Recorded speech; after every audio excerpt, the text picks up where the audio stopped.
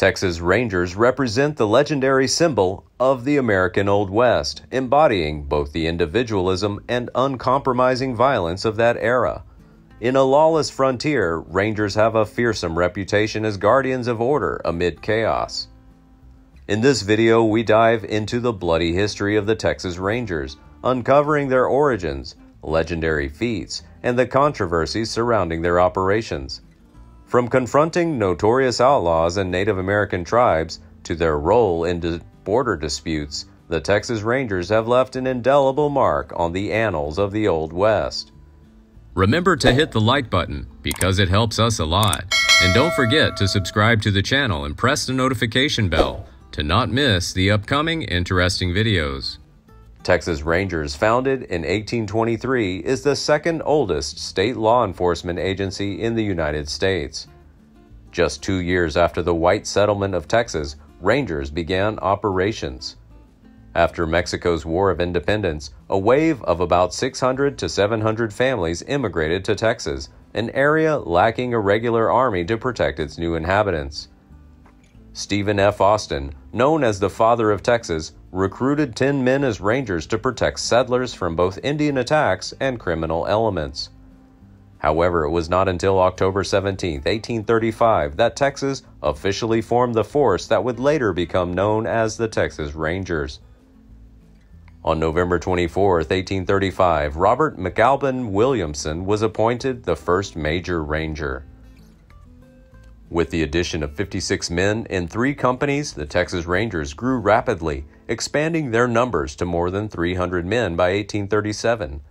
Although their numbers grew, the Rangers' impact was still limited in its early years. During Texas's struggle for independence from Mexico, Rangers took on a variety of roles, including acting as a scout and messenger. In addition, they were assigned important tasks, such as recovering livestock, protecting refugees, and sabotaging Mexican supplies and equipment. The administration of President Sam Houston showed little regard for Rangers' responsibilities in Texas. However, when Mirabeau B. Lamar assumed the presidency in 1838, he rejected Houston's border policies of friendship with the Indians and engaged the Rangers in their war against the tribes. Commissioned by the Texas Congress, Lamar recruited eight companies of mounted volunteers and maintained a 56 member Ranger Company. Within a month, he had supplied to five similar companies in Central and South Texas. Over the next three years, the Rangers engaged in warfare against native tribes, winning a number of notable encounters, including the war at the Council House in San Antonio and the raid on Linnville and the Battle of Plum Creek. By the end of Lamar's tenure, the power of the most powerful Indian tribes had been greatly diminished by the Texans. When Sam Houston was re-elected president in December 1841, he recognized the effectiveness of the Texas Rangers. Seizing the opportunity, he enacted a law on January 29, 1842, officially authorizing a company to act as the Rangers. Thus, Captain John Coffee Jack Hays assumed command, leading a squad of 150 Rangers responsible for defending the southern and western Texas borders. Houston's wise decision played a key role in repelling the Mexican invasions of 1842 and securing the white settlers from Indian attacks for three years later.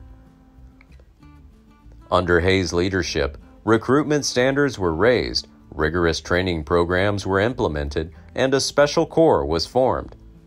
From this group came several famous Ranger captains, including W. A. A. Bigfoot Wallace, Henry McCulloch, Samuel H. Walker, and Robert Addison Gillespie. In 1846, Texas officially became part of the United States with the beginning of the Mexican American War as the United States sought to establish the Rio Grande as its boundary. During this two year period, the Texas Rangers were called upon to support the United States Army, rapidly gaining a reputation as a particularly effective fighting force. Fully armed, the Rangers were said to be so formidable against Mexican guerrillas that they were quickly nicknamed the Texas Devils. After the end of the Mexican American War on February 2, 1848, the United States assumed responsibility for defending the Texas border. Rangers were largely disbanded, leading to a decline in their operations. It was not until nearly a decade later, in the spring of 1858, that they were again active to tackle a group of Comanche Indians north of the Red River. After Texas seceded from the United States during the Civil War in 1861, which led to the founding of an organization called Terry's Texas Rangers in Houston. Led by Colonel Benjamin Franklin Terry, many former Rangers enlisted under his command. In 1877, the Texas Rangers embarked on a pursuit of notorious criminal John Wesley Hardin. Hardin, who killed Deputy Sheriff Charles Webb in Brown County in 1874, fled the state to evade relentless pursuit. A Texas Ranger named John Barclay Armstrong, better known as McNelly's Bulldog, was ordered to pursue Hardin across state boundaries. Finally, a confrontation ensues when Hardin is arrested on a train in Pensacola, Florida. During the fierce gunfight, Hardin was knocked unconscious, one of his gang members was killed, and the rest were arrested on July 23, 1877. In the spring of 1878, Sam Bass and his gang held up two stagecoaches and four trains within 25 miles of Dallas. The group quickly became the subject of pursuit across North Texas by a special company of Texas Rangers led by Captain Junius Peak. Bass skillfully evaded his pursuers until one of his teammates, Jim Murphy, became an informant. When the Bass gang ventured south with the intention of robbing a small bank in Round Rock, Murphy wrote a letter to Major John B. Jones, the commander of the Texas Rangers Border Patrol Battalion. At Round Rock, Texas, where Jones set up an ambush, a fierce clash broke out between the gang and the Rangers on July 19, 1878. In the midst of the chaos, Bass's assistant, Seaborn Barnes, was killed. Despite his injuries, Bass managed to mount his horse and retreat. The next morning, Bass was found laying helpless in a pasture north of town by the authorities and was later taken back to Round Rock, where he died of his injuries the next day. In the years that followed, the Frontier Battalion enjoyed considerable success, arresting more than 3,000 outlaws from Texas. By 1882, however, the concept of a separate border began to fade. Over the next three decades, the Texas Rangers suffered a decline in influence and reputation. However, they occasionally intervened in incidents involving cattle theft, battling Mexican and Indian looters along the Rio Grande, and sometimes defending blacks against white mobs. During this time, critics voiced calls for the Texas Rangers to be reduced or completely disbanded.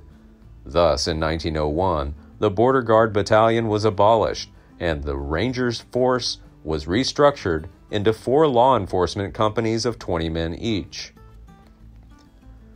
During the early stages of World War I in 1914, the Texas Rangers faced the daunting task of identifying and apprehending many spies, agitators, saboteurs, and conspirators.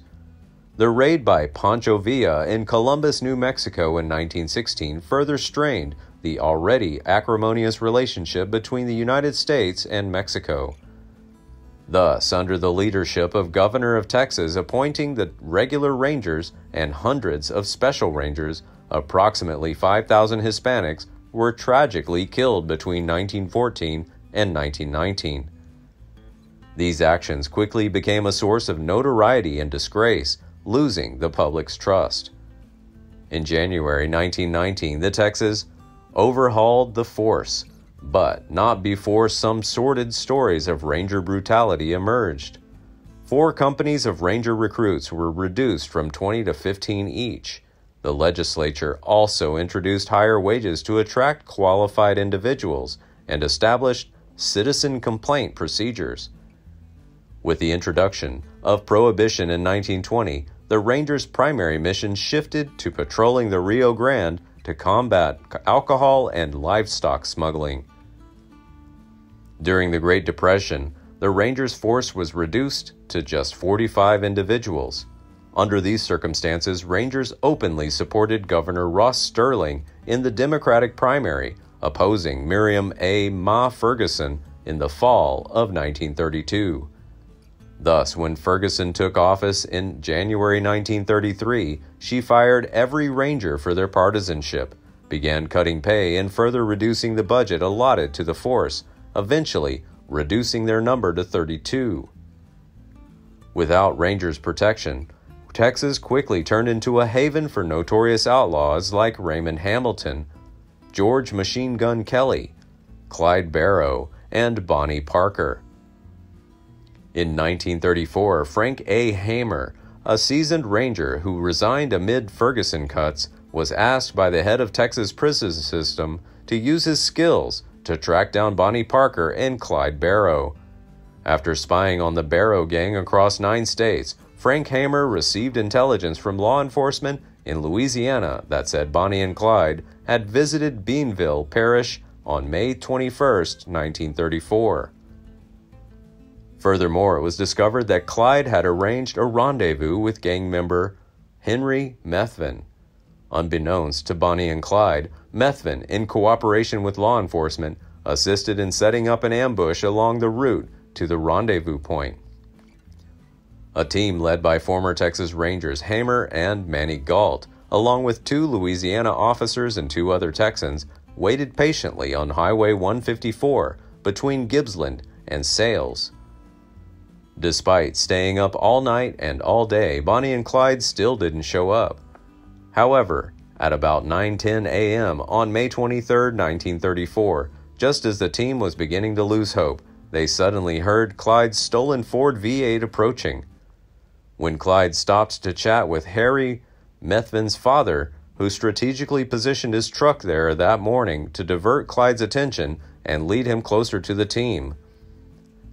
At the opportune moment, the lawmen opened fire, killing Bonnie and Clyde while firing about 130 rounds in total. In 1935, James Allred took over as governor of Texas, campaigning on the promise of increased law enforcement. In response, the legislature quickly established the Texas Department of Public Safety, which included the merger of the Texas Rangers on August 10, 1935. This new division also includes the Highway Patrol, along with the Crime Science Lab and Detection Center known as the Headquarters Division. Over the years, the Texas Rangers have investigated a variety of crimes, from murder to political corruption. They played an important role in maintaining peace during riots, protecting the governor of Texas, and apprehending fugitives. Currently, nearly 200 highly trained and skilled individuals are stationed across the state making the Texas Rangers one of the most effective investigative law enforcement agencies in the world. Please like and share if you find the video content interesting and useful. Don't forget to subscribe to the channel and comment below so as not to miss the upcoming interesting videos. Thanks for watching.